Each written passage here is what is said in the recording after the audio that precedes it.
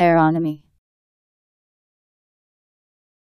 A branch of science that deals with the atmosphere of the Earth and the other planets with reference to their chemical composition, physical properties, relative motion, and responses to radiation from space.